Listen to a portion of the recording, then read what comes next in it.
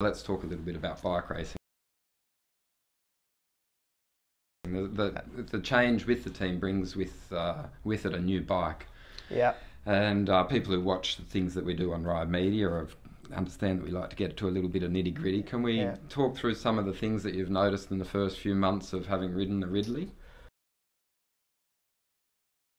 Well, uh, so so I've gone. I've basically changed everything when I've uh, when I've changed changed group sets, pedals, obviously the frame, wheels.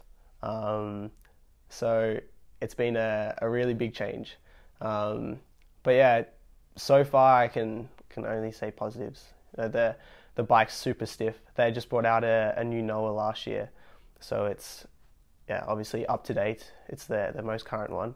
Um, and uh, I guess it's not until you start racing on it that you can, I guess, really feel the benefits. But uh, in training, it's it's felt really good, and the I started using the the bike with race wheels in our training camp, and, and they also felt really good. So yeah, I've uh, no complaints so far, and Campag's been really good as well. So um, yeah, I mean it's it's a big change, but everything feels quite good so far. I don't. I, I'm pretty sure I've got an extra small in the new bike. In the in the previous Noah, they had an extra extra small, but this one I think the the new Noah's got a little bit uh, of different geometry. I think so. Uh, that means I can ride an extra small. So I've gone size up.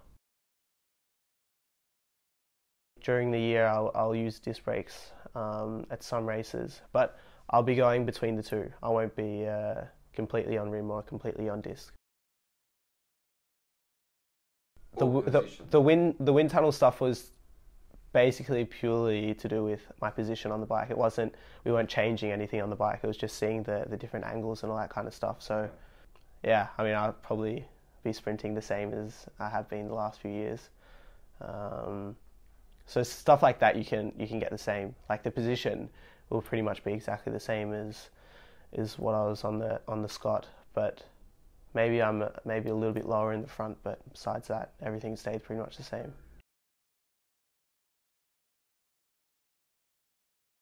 Is there any um, tyre marks on your helmet? No, not yet, and I hope to to keep it that way as well.